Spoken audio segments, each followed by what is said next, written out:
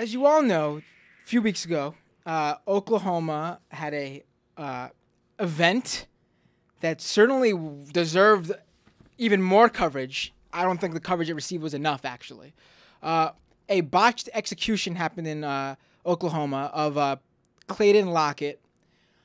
They uh, administered the the lethal injection, and there was all sorts of uh, issues arising where they weren't letting it be known what they were using, and they had to use, I believe, some some other concoction because the the drug manufacturer was not letting them use their uh, their drugs to administer the lethal injection, and the Oklahoma governor refused to stay it until uh, further uh, further information or details, or the courts can decide really, and the execution went bad, and this guy suffered and suffered for a long time before dying, and should be really a people should look down on that. It's something. It's a sad moment for this country, I think, and I don't think many people view it as that. But um, in response to this, uh, NBC News decided to poll people on lethal injections and the death penalty in general to see if the uh, if the mood across the country changed after this heavily covered event. Um, and they found that this has not happened at all.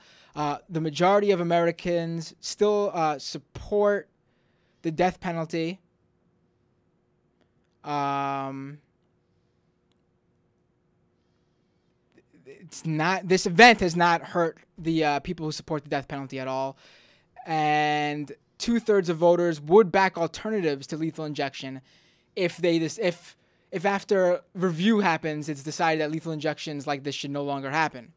Um, what's truly disturbing is they interviewed these people, and 20% are for gas chamber, 18% are for the electric chair, and 12% are for firing squads, and 8% are, are for hanging. Uh, they interviewed some of these people. Uh, the, the lethal injection is someone's very gross interpretation of killing someone humanely, said Cooney Beasley, who called for a return to hanging. Oh my god. Uh, it's very quick. You don't have to worry about drugs, and it's very efficient. Better than a firing squad. A firing squad is messy. I mean, just when you think someone's gonna say something that's you know, you know, from their heart, like you know, oh man, this is really. He said, the lethal injection is a very gross interpretation of killing someone humanely. Wow, it's a very profound statement. I'm very happy you you you feel that way because it is disgusting that we are killing people in response to their crime, being that even though that is the crime that they're being committed and being punished for, but we are doing that and we're taking life. I mean, we're in the business of killing, and you know, I'm glad. You know, it's very. But uh, wait, uh, what? Oh, oh, you want hanging? Oh, okay. I mean, what do you say? I mean, really, like. It's it's Lethal it's, injection is fucked up. We should actually we should hang them. That would be uh, makes a lot more sense. it's insane to me. Uh, Gladys I think lethal injection's a little questionable. Like, what, what we should do is you should go unstyle, literally snap somebody's neck off with rope as they hang in the air and Well- breathe for breath. Yeah, before, before we move on from Beasley, makes total sense. before we move on from uh, Beasley, the reason he's convinced that uh, hanging is the best option is, after all, that's how they killed Saddam Hussein. Huh. You know, you know, you know how they got Hitler. We should give all criminals a gun. I mean, We should just push people off buildings. I don't. I don't know. Like make it make it a real spectacle. we should all give criminals a gun. We should all hand them poison. Uh, and let them do it. Right. That's how we should kill. If we want to do it, I mean, if you want to go by how we killed some of, I guess, who you can view as the worst people ever. No, Saddam Hussein is pretty bad. Yeah, no, Hitler I'm was pretty saying bad. the worst people ever. Yeah. I mean, I guess Hitler would top that list. I think Hitler would probably top. I think Hitler is the standard. Yeah. So why Yeah. why why just deal with how we got how we how we executed Saddam Hussein? Why just go with hanging when you can go with how we got the biggest baddie of them all?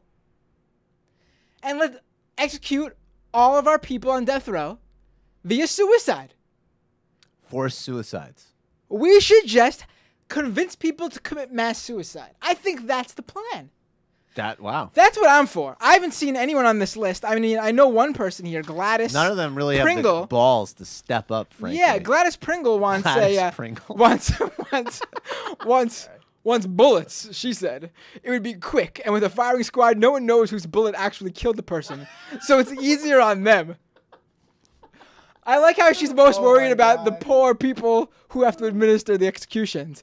But if you thought Gladys Pringle, if you thought the craziest thing about Gladys Pringle was her view on firing squads or her name, I still thought it was her name. or her name. Yeah, name. Wait for for this this one. She continues. The most humane way is the guillotine, but I can't see that coming back.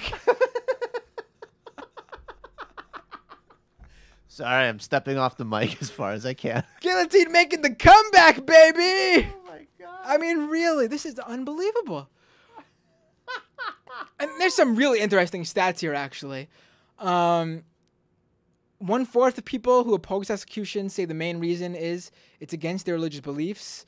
Uh, Six percent of people think a deterrent effect think it's a deterrent effective, and that's the strong argument for execution.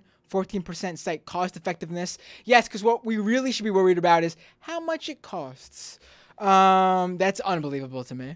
Uh, only 18% of Republicans are against the death penalty, whereas half of Democrats are against the death penalty. And this is the most interesting stat to me. More interesting than the fact that uh, Republicans, Protestants, and older people are more likely to favor execution than Democrats, Catholics, and young people. This is the most interesting stat to me. Nine, uh, sorry, 64% of whites favor the death penalty. 58% of blacks oppose it. Huh. I wonder why. Hmm. Hmm. It's a post racial America. There's no white privilege. Wonder why 64% of whites are favoring the death penalty, whereas almost the same amount of blacks oppose it. Hmm. Hmm. Maybe we should take a look at the color of the people who are being executed. Maybe that has something to do with it. Well, and also the nah. DNA evidence and Nah. clearing and all this. Yeah.